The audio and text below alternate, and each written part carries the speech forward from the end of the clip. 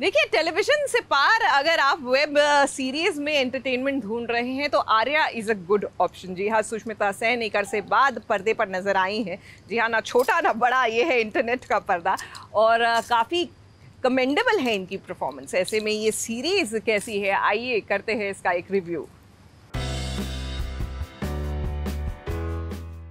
Hot star की web series Aarya, कहानी एक ऐसी माँ की है जो अपने पिता और पति के गैर कानूनी बिज़नेस की दुनिया से अपने बच्चों को दूर रखना चाहती हैं। आर्या एक नई ज़िंदगी की शुरुआत के लिए अपने पति तेज सरीन को तैयार भी कर लेती है।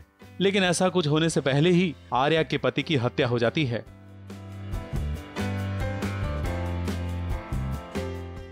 ड्रग माफिया किस तरह आर्या से उसके पति के काम की भरपाई करवाना चाहते हैं और कैसे आर्या अपने तीन बच्चों को संभालते हुए इस दलदल से बाहर निकलती है? इसी के इर्द गिर्द घूमती है आर्या की कहानी।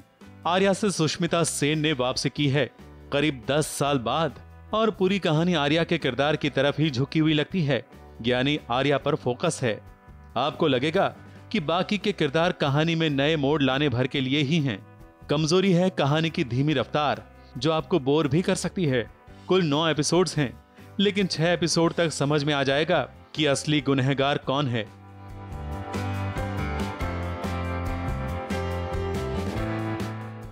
कहानी में गीता ज्ञान को कनेक्ट करने की नाकाम कोशिश हुई है। सबसे बचकाना लगता है पेन ड्राइव में सबूत की बात। भला कौन ड्रग माफिया पेन ड्राइव में अपने काले कारनामों का हिसाब रखता होगा? आखिरी एपिसोड आपको बाँध कर रखेंगे और आखिरी सीन एक सस्पेंस के साथ छोड़ दिया जाएगा। आर्या का सीज़न दो जल्द आने की उम्मीद के साथ। खासियत है वुमन सेंट्रिक कहानी, जो ड्रग माफियाओं के बीच अकेली होकर भी हार नहीं मानती।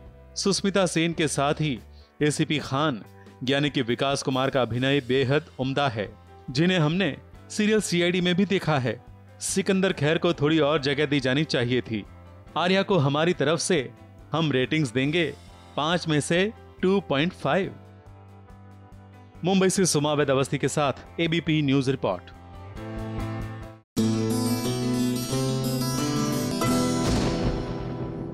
ये है एबीपी न्यूज़। आपको रखे आगे।